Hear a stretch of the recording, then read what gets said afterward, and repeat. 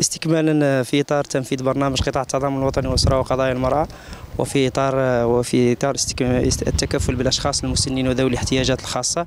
عاكفت اليوم مديرية النشاط الاجتماعي التنفيذي من تعليمات السيدة وزيره التضامن الوطني والاشراف وقضايا المرأة وبإشراف مباشر السيد والي ولاية ورقلة أن تنظم بمناسبة اليوم العالمي للأشخاص المسنين المصادف لواحد أكتوبر من كل سنة استكمالا للبرنامج المنظم لهذه التظاهرة. تشمل هذه العملية كل ولايه كل بلديات ولاية بر... ولاية ورقلة ثمان بلديات وكل الدوائر هذه العملية تمس أيضا كل مختلف شرائح المجتمع بما فيها الأشخاص المسنين ذوي الاحتياجات الخاصة من مختلف من مختلف فئات المجتمع.